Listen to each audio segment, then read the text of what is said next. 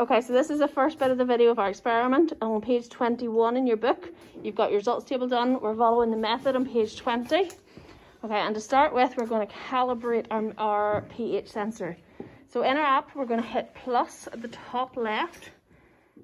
And we're going to pick a layout. So just in at the top layout. And pick the 1.23 on the middle bit. No. Okay, so we're going to have, and then up at the top right, hit measurement. So we're going to have pH. So we all have that collected. Everybody's doing that on their iPad at the minute as well. Then hit the wee button there with like the screwdriver and the cogwheel. And it says up there that we're going to hit the, the wee target beside pH. See the wee target one? Yep. And then we're going to calibrate it. So see where it says two point adjust slope and offset? Do you see that in your app? Everyone following along with this? Hit two point adjust and offset, hit that. That's okay, right, that's fine, just checking that, and then hit continue.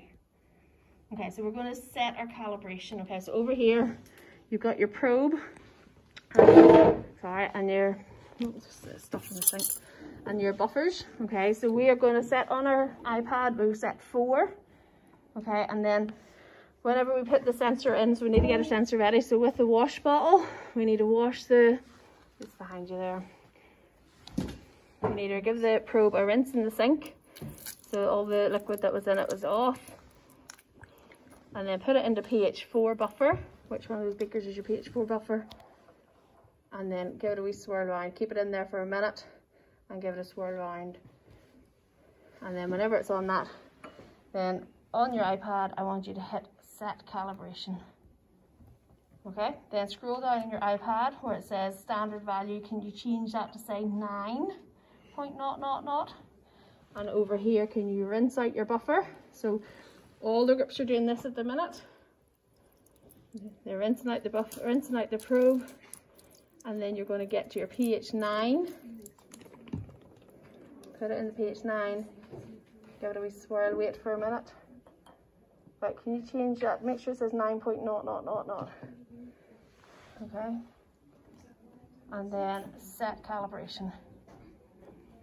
Okay, and then hit OK.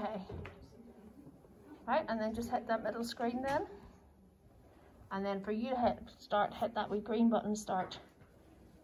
And it should tell you that's nine. Okay, so back over here, then rinse out your buffer, rinse out your probe again.